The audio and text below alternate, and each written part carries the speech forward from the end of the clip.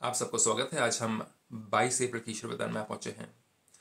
देखा है तो कहा जाता है ज़्यादातर वेस्टर्न वर्ल्ड में कि एस्ट्रल ट्रैवल मतलब कि शरीर से परे ट्रैवल करना, जो कि हम कहते हैं ज़्यादातर कि और ट्रैवल करती है। तो विदेश में या अगर आप कहें वेस्टर्न वर्ल्ड में सोल को मानते हैं, लेकिन सोल को जानते नहीं हैं। ये भी नहीं जानते हैं कि सोल है जो कि एस्ट्रल ट्रैवल करती है, और सोल के अंदर ही मन है, बुद्धि है, और सोल ही अपने संकल्पों से और क्रिएट करती है अपने आजू बाजू और वो और जो है, वो संकल्पों के बिना कहीं भी मूव नहीं कर सकती। अगर आपके संकल्प बेहद के हैं, सबके भले के हैं तो आपकी और और बेहद की होती जाएगी। आपकी और में प्रेम है, शांति, खुशी तो वो फैलते जाएगा। लेकिन अगर आपकी और में क्रोध है, अहंकार है, घृणा ईर्षा नफरत है तो फिर वो कम होती जाएगी और आपकी अंदर बीमारियाँ भी आ सकती हैं। तभी योगी एस्ट्रल ट्रैवल करते हैं ताकि वो स्वस्थ भी रहे, मन से भी और तन से भी। तो देखें, आज इसके बारे में हम जाने कि ये दो कंडीशंस कौन सी हैं जो कि बहुत ज़रूरी है ये योग विद्या के लिए और योग की शक्ति को प्राप्त करने के लिए। परमात्मा कहते हैं, बुद्धि रूपी विमान। विमान तो हम देखते हैं फ़िज़िकल लेकिन बुद्धि को भी परमात्मा ने विमान का है।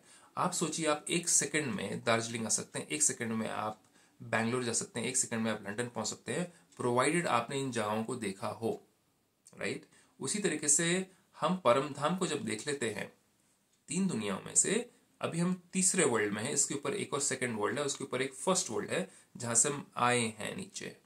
तो जब ये तीन दुनियाओं को आप पहचान लेते हैं, जो कि आप ब्रह्म में जब सेवन डे कोर्स करते हैं तो सेकंड डे में आपको पता चलता है कि हम एक्चुअली तीन दुनियाओं में रहने वाली आत्माएँ हैं ट्रैवल कर सकती हैं तीन दुनियाओं में संकल्पों के द्वारा।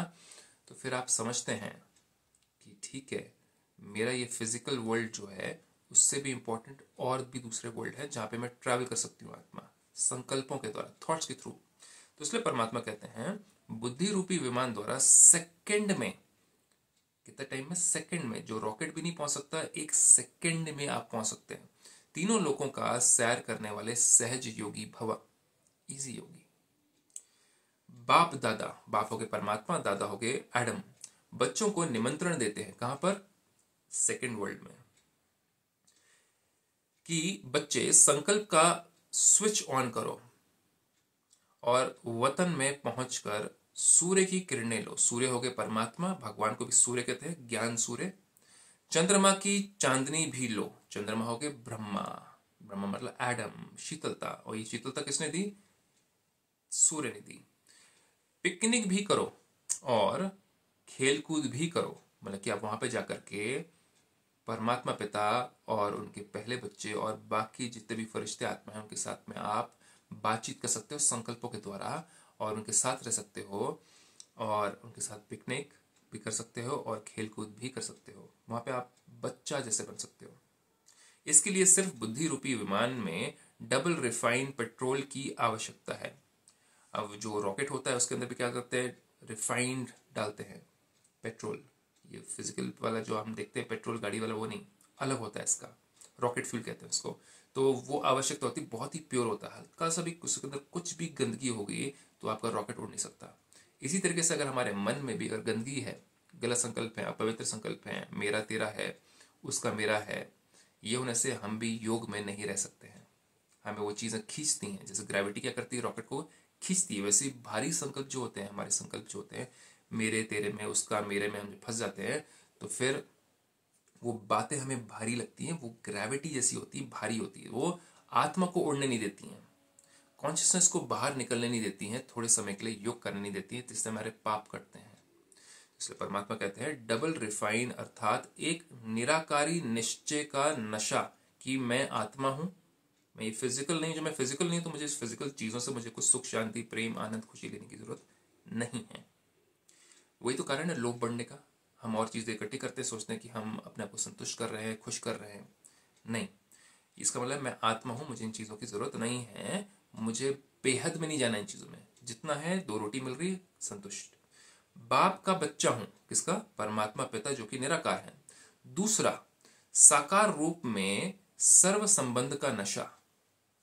अब इस दुनिया के जो हमारे संबंध है, वो हमें दुख ना दे पाए, उसके लिए हमारे संबंध कहाँ जुड़े होने चाहिए? परमात्मा से। परमात्मा से सुख, कौन सा? एक बहन का सुख, एक भाई का सुख, एक स्पाउस का हस्बैंड का वाइफ का सुख। वो सब कुछ परमात्मा से ही इच्छा रखे, सूक्ष्म में, स्थूल में नहीं।